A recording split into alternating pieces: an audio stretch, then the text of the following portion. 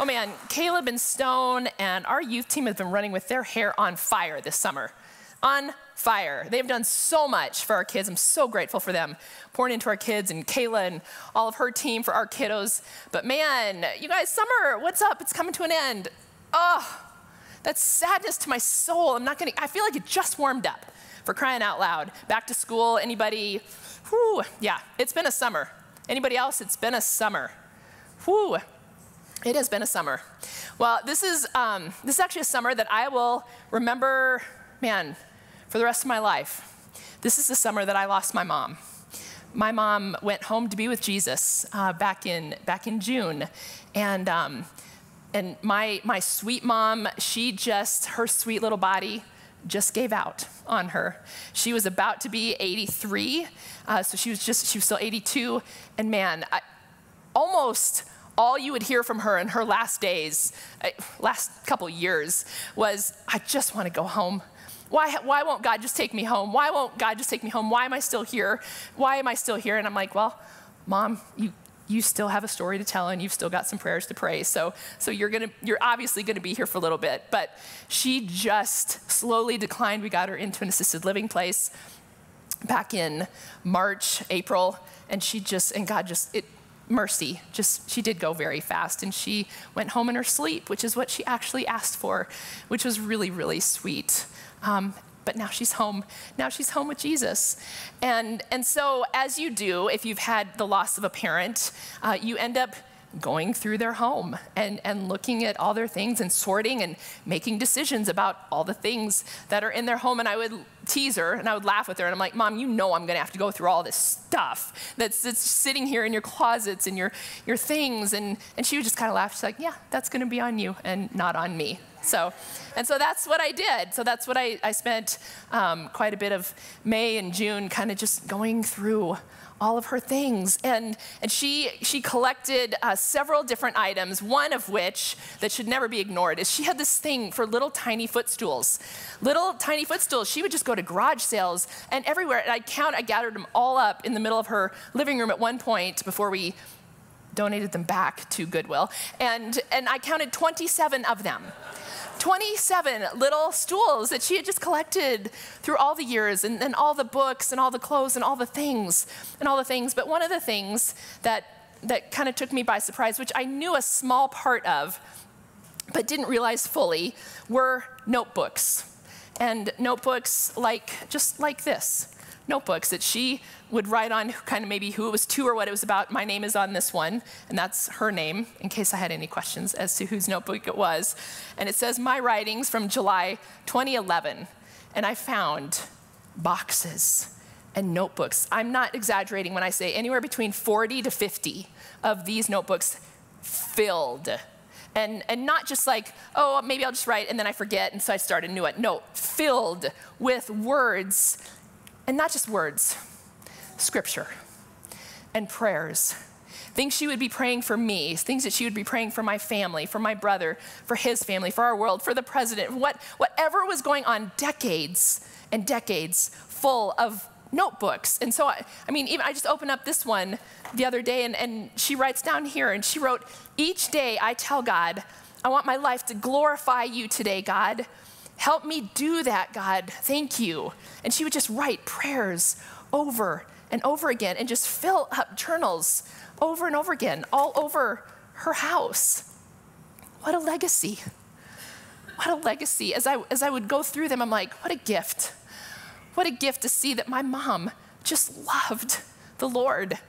My mom just loved the Lord. And I'll tell you more about how she came to know Jesus a little bit later on. But this morning, if my mom was here, if she would have the ability to come in here and, and say anything to you, it would be Jesus is so worth it. He's so worth it. And it's worth whatever it takes. Whatever it takes for you in your own life, whatever it takes for you to lead your family, to lead this next generation to know Him, it is so worth it. It is worth the grind. And because parenting, and I, I've said this a lot, it's no joke. It is no joke being a parent or helping raise up our next generation because the stakes are so high and the love, if you can get past it, the love that we have for those kids, oh my word, There's nothing that compares to the love that we have for those kiddos that God has entrusted with us. And throughout her life, my mom, my mom had a story to tell. And she had prayers to pray. And she would tell us to do the same.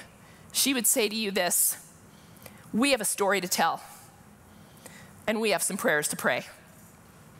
We have stories to tell to the next generation of how God has worked in our lives.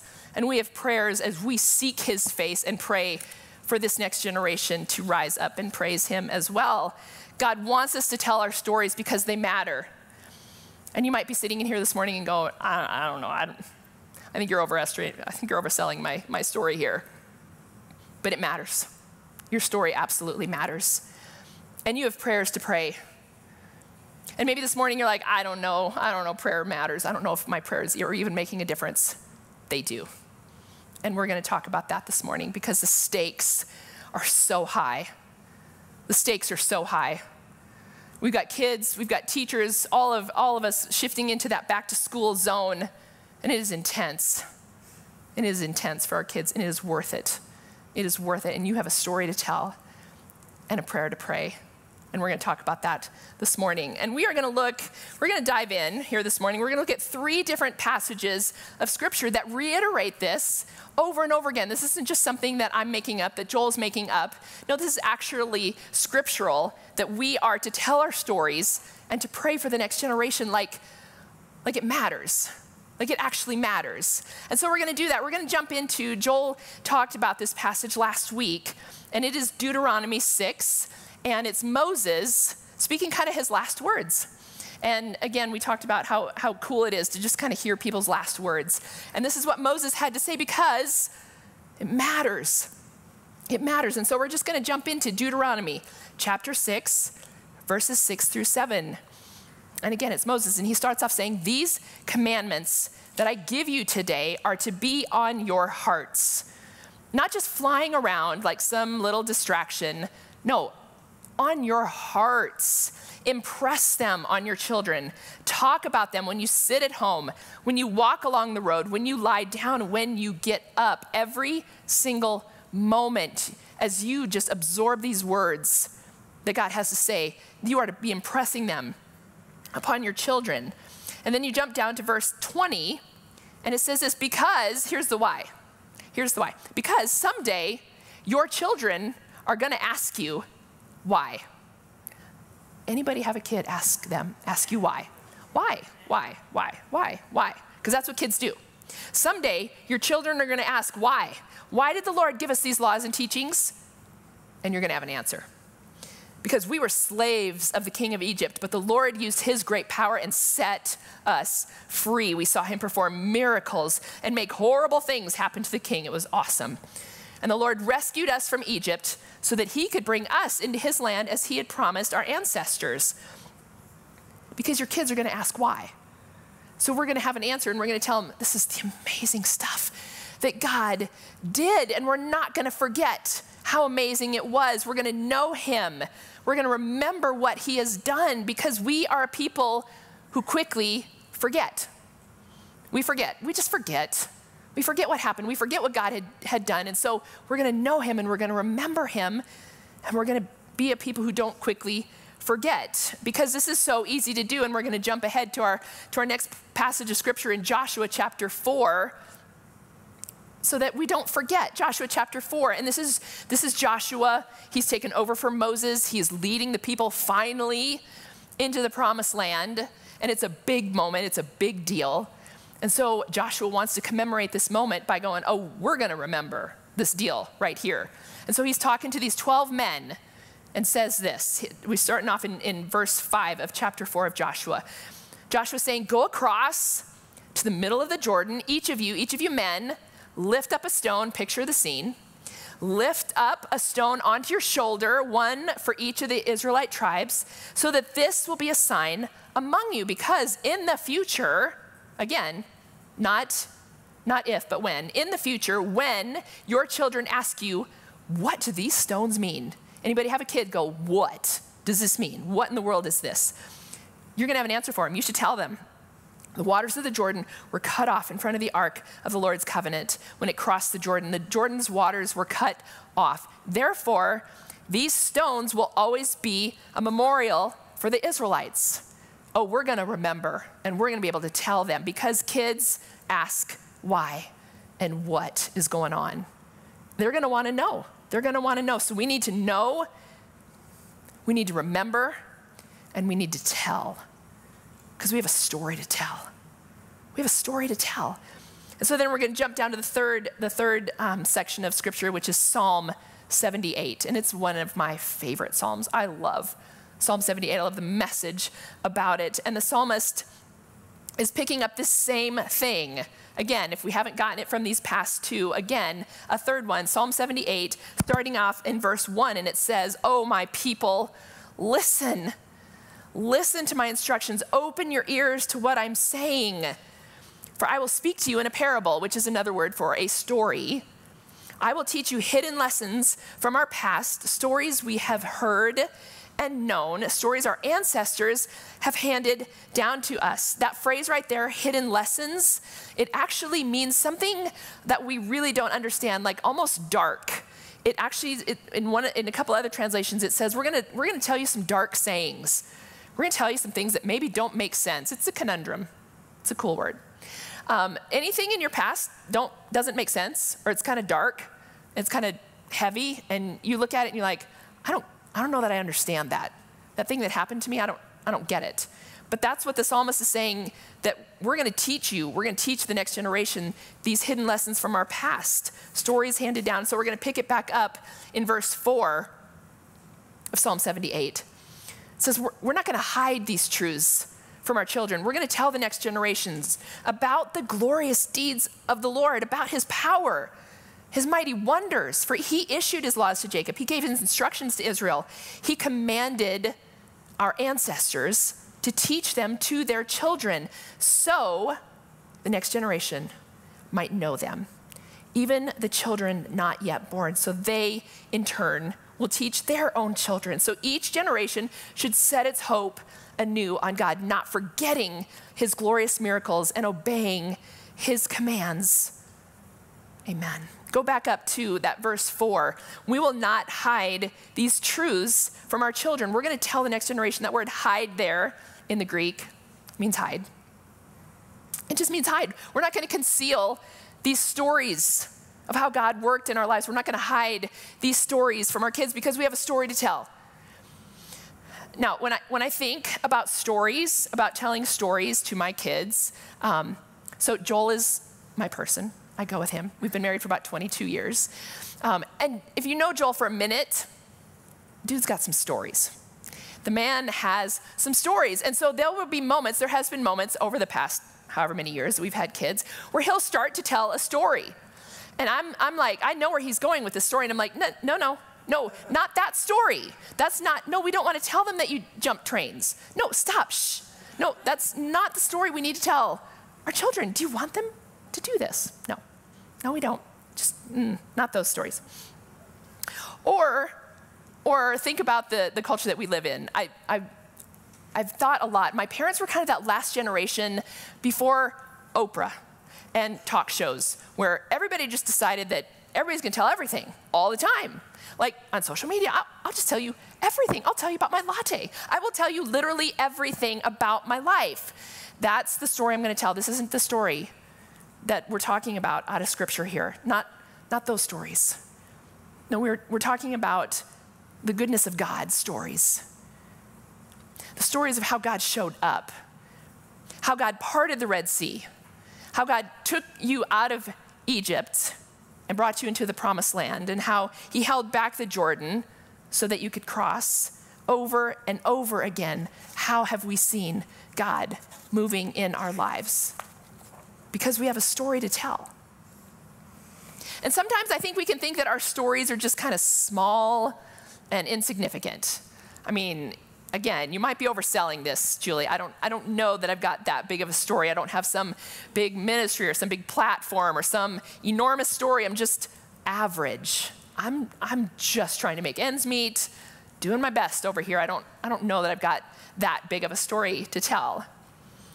Or maybe there's other, others of us who are like, oh man, I've, I have got some stories. I, I, I don't know that the next generation needs to know about that story because it was a lot. There's a lot that went down. There's a lot that I did. It's, it's stuff that I might actually feel some shame about. It's not a good story.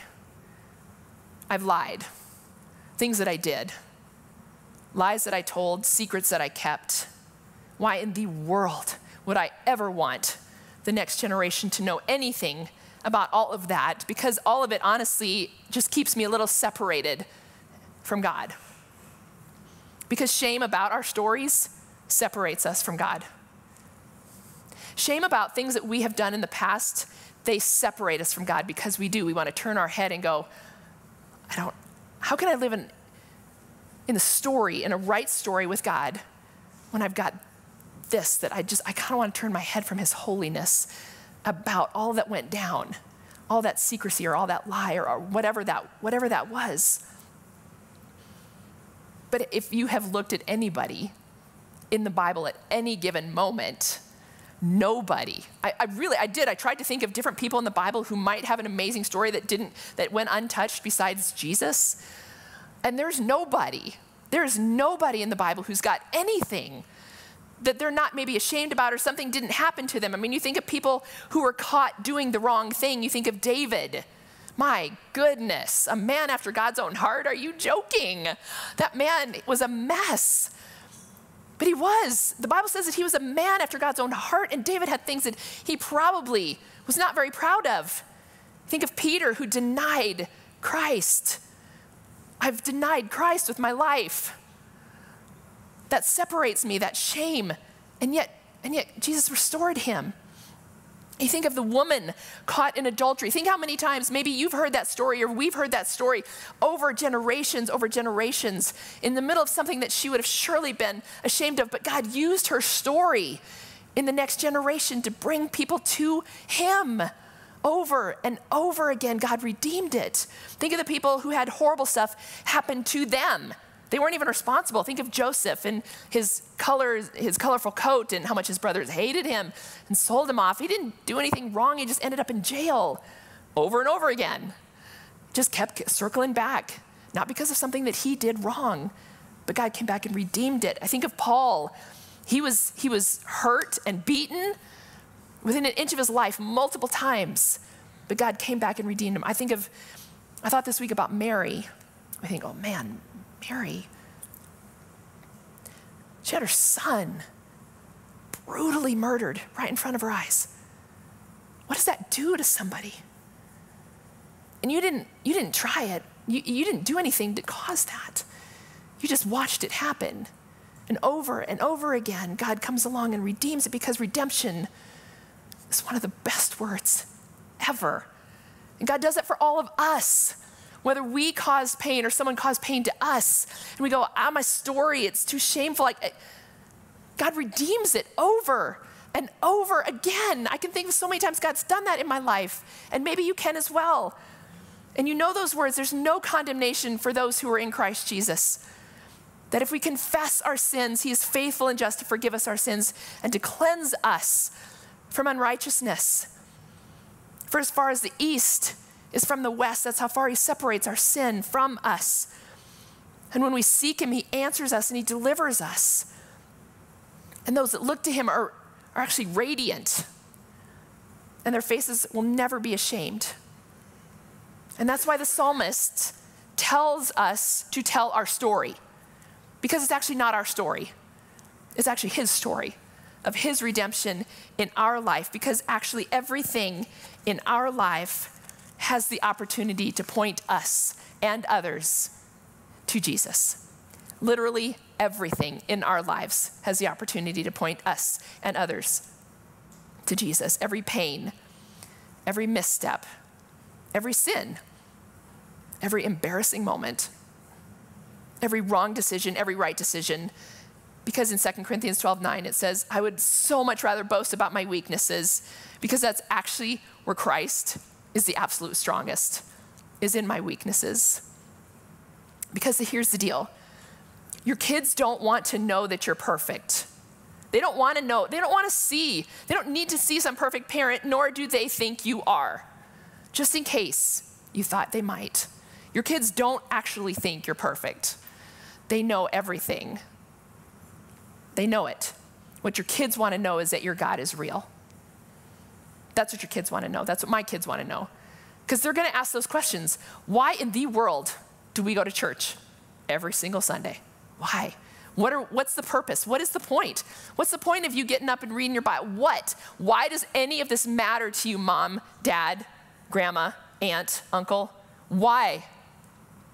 Because it's not if they're going to ask those questions, it's just when. And they may not come to you, they may not come to me and ask that, but they want to know is my God real to me? And do I have a story to tell? And am I praying for them? Because you have a story to tell, regardless of your circumstances. You have a story to tell the next generation, and it matters that you tell them. And so, how, how do we do? How do we tell? How do we tell that story? How are we going to do that? One, I think we pay attention and take notice. I think a lot of times we can tend to go, oh, I need some big, miraculous, God showed up, fire from heaven, and just like burned it all. I, and that happens. But what about the every single day stories of how God actually shows up in your life? I can think April through June in, in our life, in our family, April through June was bananas. Absolutely insano. We had two kids graduating from high school, and it's it's all the things. It's the graduation parties, the invitations, the announcements, all the things that I got to keep track of, all the things I got to pay for at the school that I haven't paid. Because they actually won't give them their sweet little diploma unless I pay every red cent that I owe the school. So it's taking care of all those checklists, getting them up to graduation, getting the outfits, making sure that you're there. All of it. It's crazy. Uh, out of town guests coming in, my mom being at the point where she needed to go in an assisted living home. And how am I going to do that? Where are we going to put her? What are we going to do? And on top of that, we breed miniature golden doodles, and we had 14 puppies in our house during that same time period. So it was crazy. It was crazy. But I also knew, and I think it was because my mom was so close to going home, I just, I just said, God, I, I don't want to miss. And plus, your kid's graduating. I don't want to miss. I don't want to miss seeing them. I don't want to miss the moments that are going to be leading up to that. And God, I, I, can't, I can't even keep track of what's next. Would you, would you just show up and show me what's next? I'm going to do what you, what you have me do today. Whatever, you know, I've got a to do list. Here's my, I don't even have the capacity to go ahead four days and, and plan this party. I, I, I don't. But can you show me today what I need to do? And I will tell you the orchestration, and I don't use that term lightly, that orchestration between April through the end of June was unbelievable. The moments where he would show up and say, I want you to have that friend do that task for you. You don't need to do it. Your friend Lisa called to see if she could take this off your plate. Let her. And she, and she did it. And the timing was so perfect. The conversation I had with my brother about things I was gonna, that we needed to do, conversations that we need to make preparations for for my mom just happen to be on this night that happened before this event. And, and all the things with the party and the planning and the people and the, and the puppies, and they all went out the door. All the puppies went out, all of it. It just, and I got to the end of it, and I got to the end of June, and it all happened. And it was sweet. And I watched God move in just ordinary things. And I looked at my friend Lisa, and I'm like, do you think it's always like this, but we just miss it? Do you think it's always this orchestrated, but I'm so busy in the hurry and the worry and then let's go and what if and oh my gosh, I'm gonna stress out. I'm gonna stress out everybody else around me because what if it doesn't work? Is it, does God actually take the time to care enough to orchestrate our lives in the everyday mundane? And I just miss it. And she looked at me, she's like, I think so. And I bet it's the same. And I've been trying since then to go, God, how are you showing up in my actual day today? Not in the great big bringing fire from heaven type things, even though we, we need those and we pray for them, but, but what story are you telling? What story are you telling here in the middle of August to each of us, to my life? How can I, how can I trust you in that? How can I pay attention and take notice of what you're actually doing in my actual life. So let's take notice. That's how we, that's how we start telling our story is to pay attention, take notice. Number 2, thank God for how he showed up. Lord, thank you. Because it, it acknowledges, again, it's, it's not my story, it's his. It's 100% his. He caused that to work, and, and that didn't work, but I'm still going to praise him in it. I'm going to thank him. God, thank you for how you showed up. So I'm going to pay attention, we're going to take notice, and we're going to, we're going to thank how he showed up. And then number three, it's just simple. Recount that story with your kid, with that, with that young person in your life. Tell them, hey, this is, this is how God showed up. This is what happened. This is how, how I saw him show up. And it's just simple and it seems so boring, but it meant everything to me. Here's the crazy mess we were in, but here's how God came through. Here's the crazy mess I made, but here's how God restored me. Here's the crazy mess they made, but look how God redeemed it. We just keep pointing our kids to Jesus and we tell the story because you have a story to tell. And we have prayers to pray. And we have prayers to pray. Oh, do we have prayers to pray? Because the stakes are high. The stakes are high, and they are coming in hot for our kids.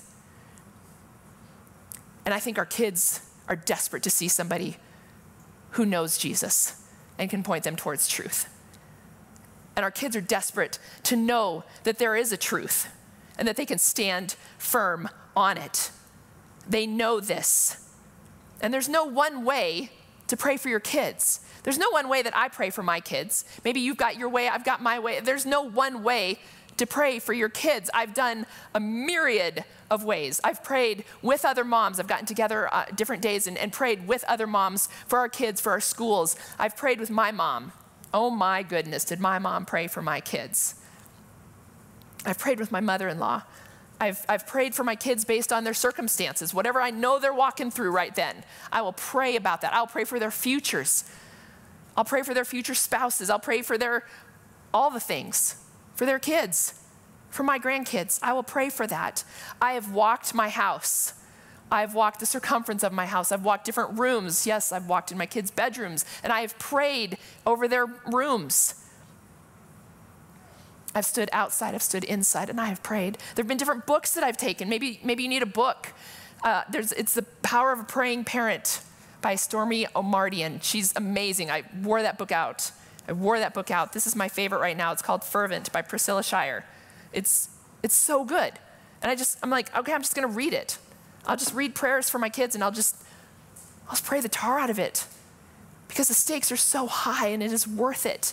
But then, when all else fails, I'll pray scripture over my, over my kids because if it's in God's book, it must be truth. And if Jesus said it, or if, or if it's Holy Spirit ordained, it, it can't be bad, right? It's got to be so good for my kids to pray actual scripture over them. And so I will. I will just take portions of scripture. There's been different ones that I've grabbed through the years, but there's two that I've come back to over and over and over again to pray over my kids. And maybe you can adopt some of this and pray them over your own kids. And they're, the two that I'm going to talk about are both in Ephesians.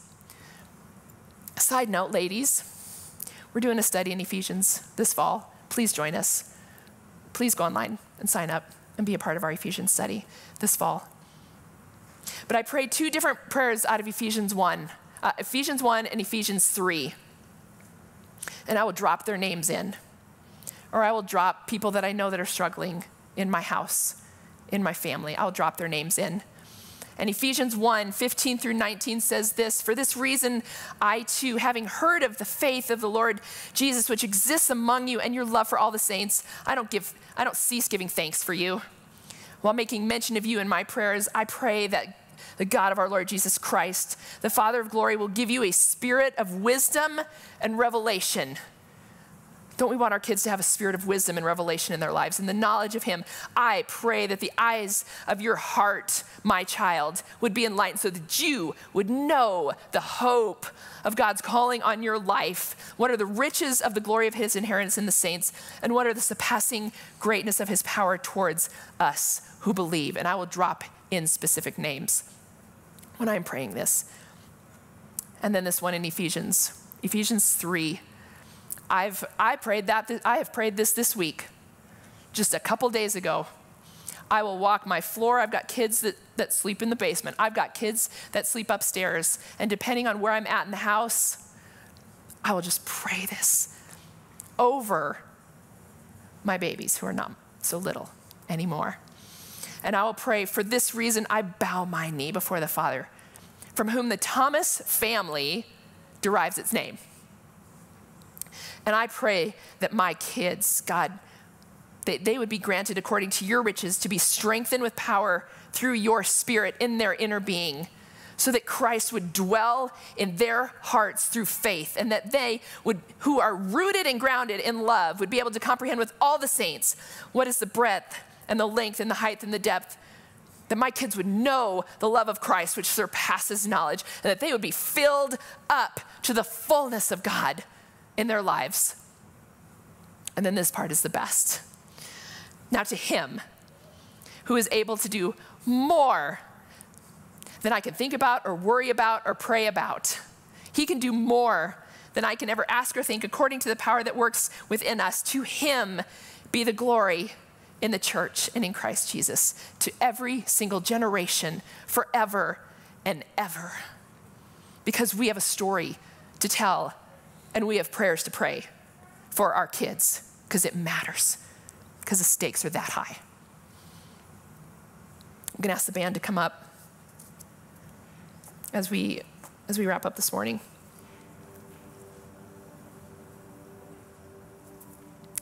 Since my mom passed, um, I had just a really sweet opportunity to go back to Rapid City, South Dakota, which is where I grew up. Um, I got to go up there and I just did, I did a, kind of like a nostalgia tour. I got up there and, and I just wanted to go see everything again. I just, I just wanted to see everything. So she had passed and it was probably about a month later that I got to go up there this summer and I got to just really, I, I did everything. I went past all my old houses, all the schools that I went to, elementary, middle high, uh, middle and high school, and um, different places that, that we had gone, the church that we went to. I went, went and just did the whole tour. And it was so sweet just to see all, I hadn't been up there in, in quite a few years. And I got to this house that, that I grew up in probably from age, well, from age zero to about age 10 or 11. And I totally looked like a stalker. I, I, somebody could have reported me. But I stood, I stood outside this house, and it's just this little square box of a house. Of course, when I was little, it was like the biggest thing ever. But I'm standing outside the house, and I, I'm looking in, and I, I see, and I recount, like, okay, that, that window was for that area, and that, that window. And, and God just reminded me of something really sweet. I stood there and I looked at this window and I'm like, that was my mom and dad's bedroom. And I recalled, God brought to mind that there was a night when she was 32 years old. 32 years old, my mom was watching the television. She was watching Billy Graham. And she was watching Billy Graham. And Billy Graham, through the power of the Holy Spirit, came through that television. And Billy Graham asked the question that he would ask anybody wouldn't you just give your life to Jesus because he's worth it? Wouldn't you just give everything to follow Jesus because he's so worth it? And she said, Yes. And so I, I thought in my mind, obviously I was, I was like five, so I, didn't, I, don't, I can't actually see it, but I pictured this 32 year old woman because she told me, she would tell the story, she would get on her knees. She said, I got on my knees and asked Jesus to be my Lord and my Savior that night. And it changed everything. It changed everything in our family. It changed everything in my life. She started taking me to the First Baptist Church. And I went there and I got saved. I got baptized at eight years old. And it changed everything for me. Because my mom kept telling me her stories. And she kept praying for me. And she filled notebooks full of prayers and she handed down a very unique legacy to me. We are not unlike that. What story do you have? What story can you tell? What prayers can you start praying for your kids, for this next generation? Because the enemy is after our kids, y'all. The stakes are high, and the enemy and this world would love to take them out. And that is not, I am, that is not hyperbole. Would love them to forget about God in this generation. But we have a story to tell, and our God is bigger, and we have prayers to pray. Would you stand? Would you stand?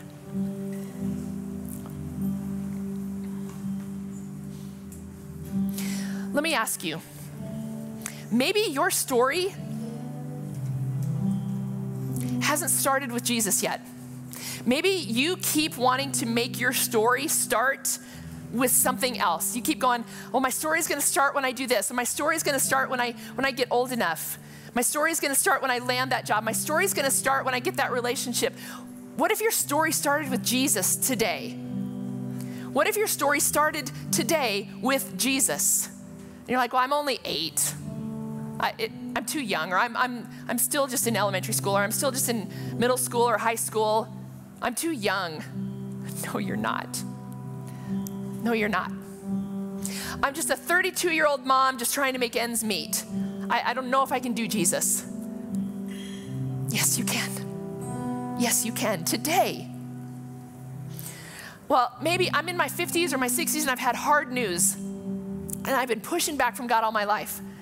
That was my dad's story. My dad kept pushing back and pushing back against the Lord until he got colon cancer and he started asking questions. And he took a walk one day out on the bike path in the middle of Rapid City, South Dakota, and he passed three little old ladies because he called me afterwards and told me the story.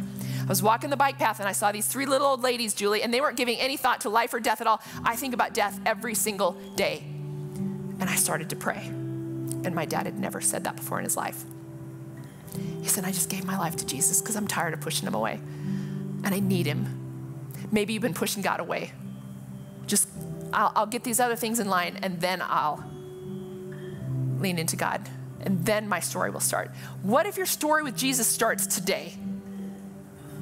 What if you just say, Here I am. Here I am. Jesus, I'm going to follow you. Help me to see you. Forgive me for how I've pushed you away. The shame that I keep doing this to. It's yours. Redeem it. Use it how you want. Because He will use it better than you could even ask or imagine. And then will you commit to pray?